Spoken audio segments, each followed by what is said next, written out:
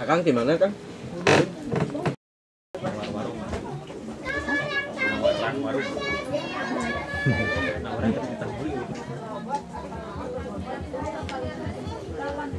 Oh iya, bagus sekali ya eh, kegiatan lomba seperti ini aksara Sunda karena kita bisa mengevaluasi eh, anak itu bisa menulis aksara Sunda dari lomba seperti ini selain dari ujian juga ya.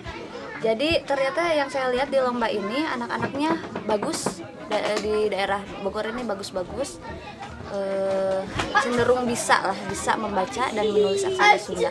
Kalau di Kota Bogor khususnya ya eh, untuk penulisan nama jalan dengan aksara Sunda itu belum ya? Belum. Eh, tapi kayak kayaknya menuju ke sana ya. Kalau Kota Bandung sudah ya penulisan penulisan jalan nama-nama jalan itu dengan aksara Sunda. Cuman eh, di masyarakat kayaknya belum begitu dikenal aksara Sunda.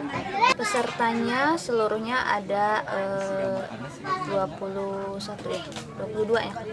22 6 SMP, 11 SMA. Ya 17, 17 peserta. 17 peserta 17 terdiri dari terdiri dari eh, 6 SMP dan 11 SMA.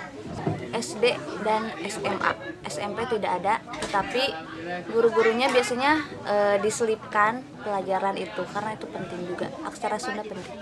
karena Sunda sebagai sebuah suku bangsa sendiri yang berlainan dengan Jawa, dengan Minang dan sebagainya punya salah satu identitas salah satunya ya aksara gitu jadi karena sekarang eh, penggunaan penggunaan aksara jarang digunakan lagi aksara-aksara daerah ya kembali dimunculkan lagi gitu. Aksara Sunda. Masyarakat Sunda punya aksaranya sendiri gitu.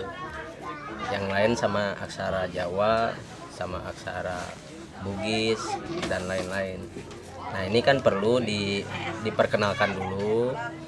Terus sehabis itu bahkan lebih jauhnya eh, seperti bangsa-bangsa lain kayak Cina, Thailand dan lain-lain juga sudah menggunakan aksara ancamannya. Sebenarnya ini kan upaya revitalisasi.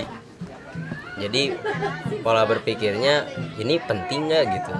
Jadi, pertama kita harus menganggap bahwa ini penting. Ini sebagai salah satu peninggalan yang masih sampai kepada kita. Artinya eh, dahulu pernah dihasilkan dari nenek moyang sendiri sebuah aksara ini dan harus dipertahankan gitu.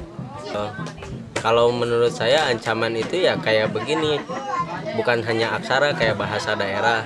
Sekarang mulai terancam karena keberadaan bahasa Indonesia.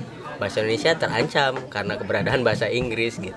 Jadi harus ada counter ya upaya-upaya counter itu gitu. Mungkin di justru terbalik gitu sekarang. Di pendidikannya sedikit formalnya banyaknya sebenarnya mestinya di rumah kalau sekarang kan justru kalau dulu di rumah bahasa Sunda di di sekolah bisa bahasa Indonesia bisa bahasa Inggris mereka belajar bahasa Belanda dan lain-lain gitu. Kalau sekarang sebaliknya